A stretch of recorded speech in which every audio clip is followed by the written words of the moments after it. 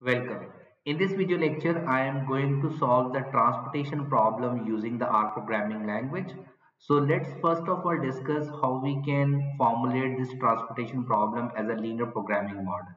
So for that, I am taking the problem of Powerco formulation. So where we have three electric power plants that can supply to four cities okay? So which mean the power plant has some capacity whereas the four cities has some demand. So for that they have given us the table which is this one where we have mentioning that from plant 1 if we are uh, providing the supply of the electricity so uh, per kilowatt how much cost we are going to bear which is eight dollar similarly from plant 1 to city 2 what's the cost and then from plant 1 to CT3 and so on. So this is basically a cost matrix they have given us, right? That is this one. This is basically, you can say the capacity of the plant. This is the capacity of plant 2. This is capacity of plant 3. That how much uh, kilowatt electricity that particular plant can supply or that plant can produce. Similarly, we have city-wise demand in terms of kilowatt. Okay, now, first of all, we have to formulate this problem. So that means the ultimate task is we want to minimize the total uh, transportation cost. Okay, so for that, our objective function will be to minimize it. Okay, so in order to minimize the total transportation cost, the decision variable would, would be xij, okay, where i is representing the plant, okay, from plant 1, 2 and 3 where G is representing basically the city. Okay, so how much kilowatt of electricity we are sending from plant 1 or you can say from, plant I to city J. So first of all, the objective function is that is the total shipping cost or you can say the total transportation cost which we want to minimize. That is basically 8, 8 AX, uh, X1. That is 8 is the per unit cost X11 is basically representing the number of kilowatt produced at plant 1 and sent to city 1.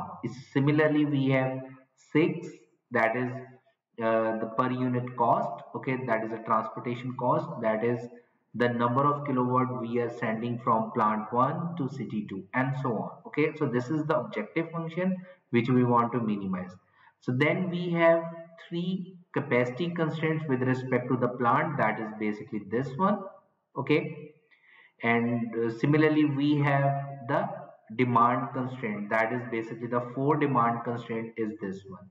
So the complete model is over here okay? That is this one right? This is a supply and this is a demand constraint. So this is the graphical representation. This is indicating from plant 1 how much uh, kilowatt of the electricity we can send or we can supply. Okay that is basically the capacity of plant 1 2 and 3 similarly this is the demand of city 1 2 and 3 and x11 or you can say xij is basically indicating the amount of electricity uh, in terms of kilowatt we are sending from plant 1 to city 1 2 3 and 4 and so on.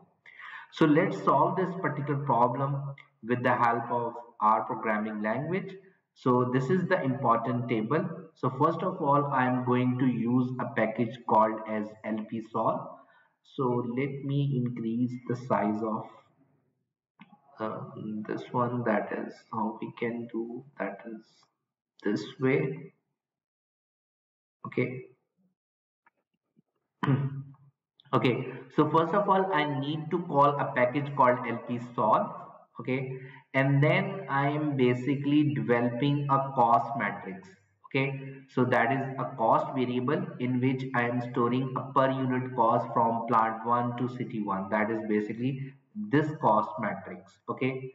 So that means we have three plants okay? And we have four cities. So that's why i am indicating all the per unit cost row wise which is basically first of all i have written down 8 6 10 9 9 12 and so on. So this is the cost and I am indicating the number of columns. That is basically the number of columns are 4 okay? And then I am indicating I have written down these values by row wise that's why I'm writing down row is equal to true okay? Because it will consider 8 the first then 6 then 10 and so on.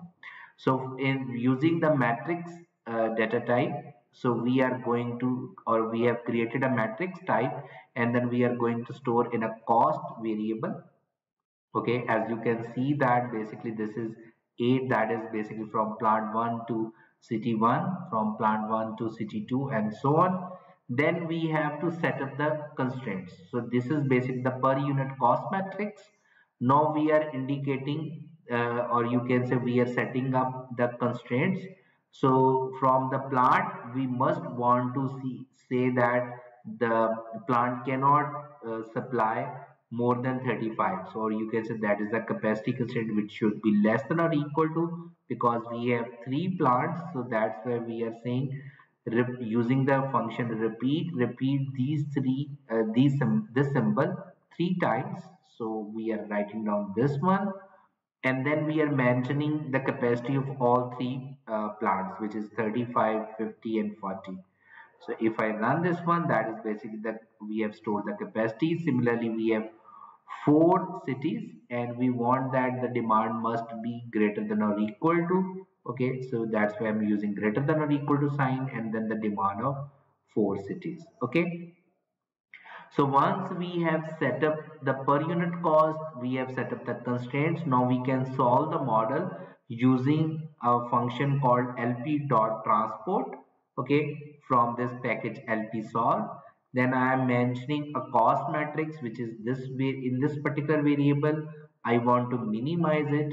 Okay this transportation cost and then i am mentioning the sign of the constraints. That is plant sign okay that is in this variable which is less than or equal to. Then i am mentioning the capacity of the plant city sign then the city of the demand okay. And then we are storing into the variable called lp trans so if i run it so with the help of this one, we are able to solve the problem. So in order to check the status, so I can write down LP trans dollar sign and then I can mention the status. So if I run it, so it will show me zero. That means the LP solve able to solve the problem optimally. Now in order to get the solution, we can write on LP solve dollar solution okay so it will show us the uh, solution of the variables that is indicating how much quantity uh, we are sending from plant 1 to city 1 so right now it is indicating the x12 is equal to 10 that means we are sending 10 kilowatt from plant 1 to city 2 25 kilowatt we are sending from plant 1 to city 3 okay? So 0 is indicating we are sending nothing from that city to that uh, that plant to that city. Okay? So this is the optimum answer in terms of x11 or x12 in order to get the total transportation cost we can use lp trans dollar objective function. Okay that would be this one. So the total transportation cost we are going to bear is $1020 so if we can see the answer of this problem that is this one. So the answer of the objective function is 1020 which is this one and the answer of x12 is 10 which means uh, we are sending from uh, plant 1 to city 2 the 10 kilowatt then we have x13 is 25 so this is 25 okay and so on so i hope you got the idea how we can solve the transportation problem using the R programming language. Thank you so much.